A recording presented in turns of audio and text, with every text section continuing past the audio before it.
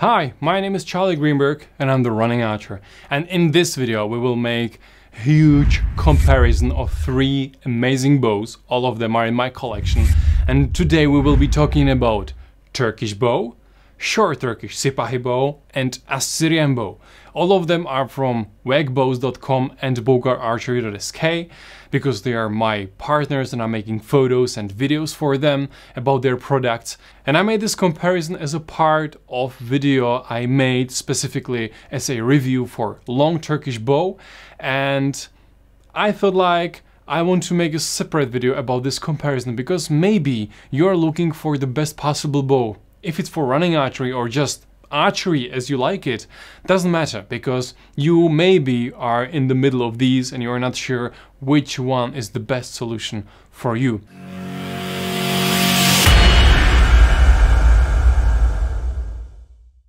So I hope that this comparison will help you. Without further ado, let's dive right into it. This comparison will help us to understand more, let's say in complex side of view we can talk more about accuracy, about speed, about handling, about handshake and many other things. So you can maybe easily find out which one is the best solution for yourself. So I'll prepare my target, my shooting range and we can start. Of course I placed GoPro near the target so you will see the results because right now we're talking about aiming because I'm used to use this bow for last three days exclusively.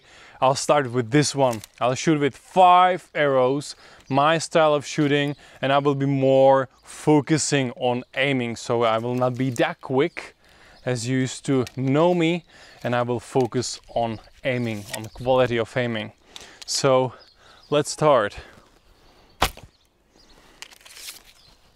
This bow is pretty fast and pretty good. Great in a hand, very comfortable.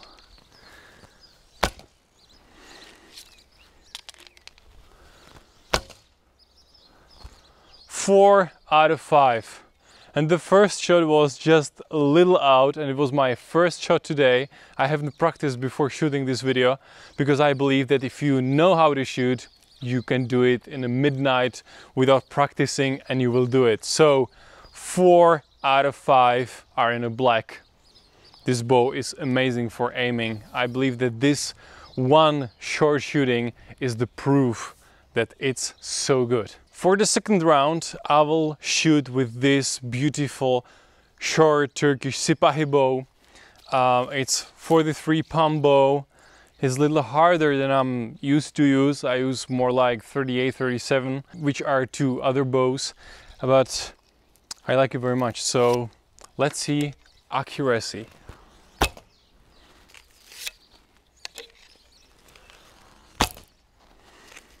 Ho ho!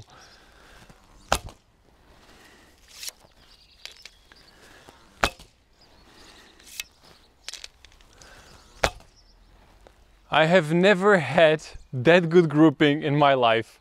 Let's check it out. It was the first shot, second shot, third, fourth and fifth shot. All of them are in a black and these three arrows are like there are millimeters between them. Millimeters, they're at the same spot. So even this bow is amazing for aiming. And now the third is my very favorite Assyrian bow I love this bow very much. It's so lightweight, only 290 grams. String length is like 125 or 20, 21, 25, something like this. Very good bow in a hand, small grip so I can hold lots of arrows in my hand. Great one. So let's try how it aims.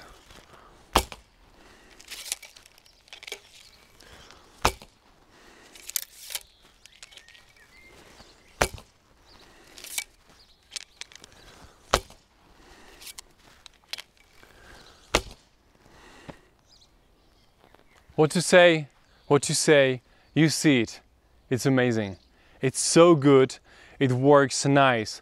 I know that the results don't look as good as with the Sipahi or Turkish bow, but the feeling of aiming is very close and almost very the same. So all of these bows are great for aiming. Right now I'm shooting like from 7 meters, so I'm sure that if I will shoot like from 10, 12, 15, 20 meters, all of these bows will perform the same because they are amazing, they are good. The arrow pass is really narrow so you can aim amazingly great.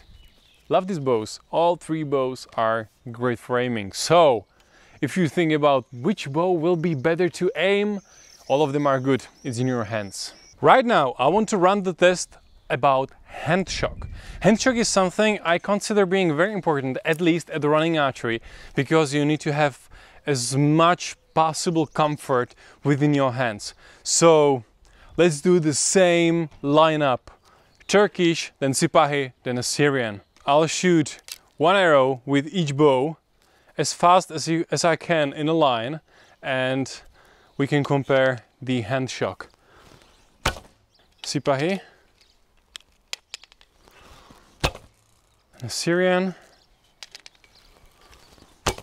It's clear. The most comfortable bow about hand shock is Assyrian bow.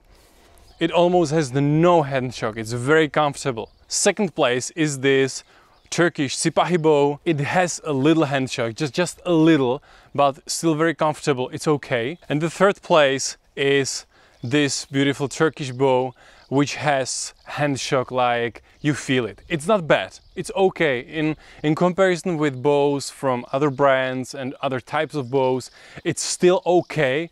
But if you are nitpicking, this one is for stronger men, I would say. Somebody with strong wrist, with strong hand holding.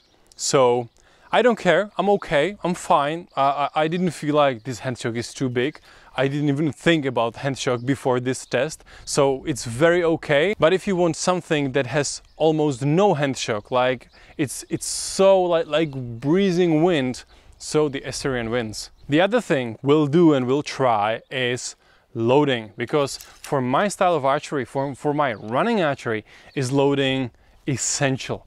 I need to be quick, I need to have good comfort in my hands while I hold the arrows in my bow hand and quick loading and quick shooting. So we'll test it out because all of these bows have completely different grip, different size of a grip, and it has a lot to do with loading and shooting. So I'll start with Turkish, then Sipahi, then Assyrian. Five arrows, walking and shooting. Let's do it. Right now I risk a lot because I placed camera very near to the target. So if I miss, I mean, I mean miss badly, I'll destroy my camera. So I hope I'll be better than that. So first, Turkish.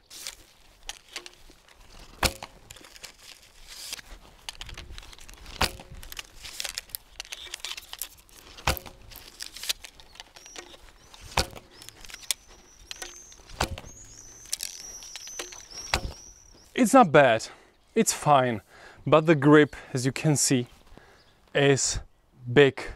And if I hold it with my hands, you can see, you can see I hope like this. When I hold it, there is not much space for the arrows. So yeah, five, six arrows are total maximum. More arrows will be very uncomfortable and very clumsy in my hands. So this is limiting. You only can shoot with six arrows and you need to have long fingers like I do. This glove is XXL size and I have really long fingers. Maybe that's a limitation for some of you. Right now, Turkish Sipahi. I'm used to have this. It has smaller grip. I used to use it, so let's see.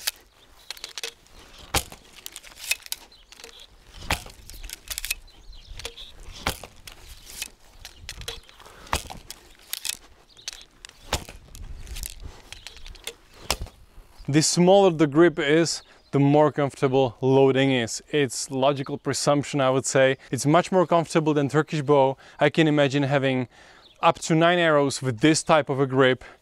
Great for shooting, very comfortable, short, good action, good working with this one. So yes, if you want to hold more arrows in your hand, this bow is a little better than the Turkish. And the last of all is Assyrian with smallest grip of them all. I used to use this bow often and a lot and I can here use up to 12 arrows and let's do it.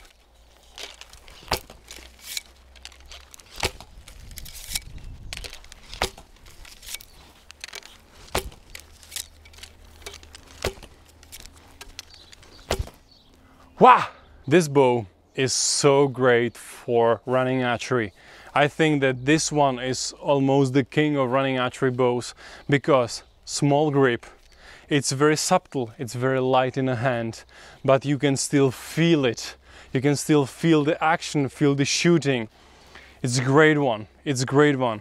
But at the same time, because as I told you before, I have very long fingers. Sometimes it's like slipping and sometimes it's like sliding in my hand. So holding the bow the way that I shoot, that I grip it all, all the time the same. And I know that the arrow will be like there all the time is sometimes hard because when I run, you know, you're doing jumps and stunts and whatever. So sometimes my hand slips like this and I'm not that accurate because my muscle memory and my aiming is go haywire because you know every millimeter in in in there means centimeters in the target. So sometimes because it's too small too too narrow it slips and slides in my hand and the aiming is going wrong. But if i'm only shooting stationary or when i walk this never happens and i know that i hold it correctly as I need it and I shoot perfectly. I love this bow. So we are at the end of our comparison day. First,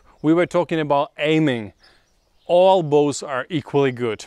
All there are amazing, great, perfect bows. I hit five out of five most of the time and the first shot with the Turkish was out because I haven't shot today yet and it was just centimeters away. So let's say all of them are equally good in aiming. It's about your hands, about your style, about how you do it, not about the bow. Second, we were talking about the hand shock. And the strongest hand shock was with the Turkish bow because it's the is the fastest bow of, of these three so I think that it's based on this. But as I told you before this hand shock is very small something you will maybe don't even mention if you are not focusing on this. The best hand shock like literally no hand shock was with the Assyrian bow and the Sipahi was somewhere in the middle. And our third competition was loading and shooting in a movement quick loading from the bow hand. There is a little problem that if you don't have long enough fingers, you will not able to hold more arrows in your bow hand with Turkish bow. So I have long fingers and I'm able to shoot with like six arrows at maximum and uh, with Sipahi it's 9 and with Assyrian it's 12. So if you want to carry more arrows in your hand, which is something I care about a lot, Assyrian wins and the Turkish was like the weakest one. But if you use hand quiver, back quiver, if you hold arrows in your right hand or whatever, and this means no problem to you, the Turkish is amazing, great bow, I can totally recommend this.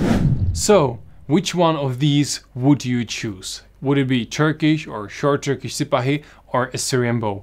Which one suits you the best according to this video. Personally, me, uh, I'm not able to choose one. I love all of them. They all have something specific. They are a little different in some things and I like to practice with all of them. Assyrian bow is great bow if I want to practice running archery and I want to try new stuff. I know that this bow is reliable, it's lightweight and forgives me some of my technical mistakes. Short Turkish Sipahi is very strong, very powerful, it's shorter so if I shoot somewhere inside of buildings for recordings for this channel it's amazing because it doesn't take lots of space and I'm not hitting the walls and I can shoot properly. I love this. And if I want to practice and become better archer, stronger archer, and step up my archery game, I shoot with longer Turkish bow because it doesn't forgive me anything and I need to focus and I need to shoot as best possible as I can.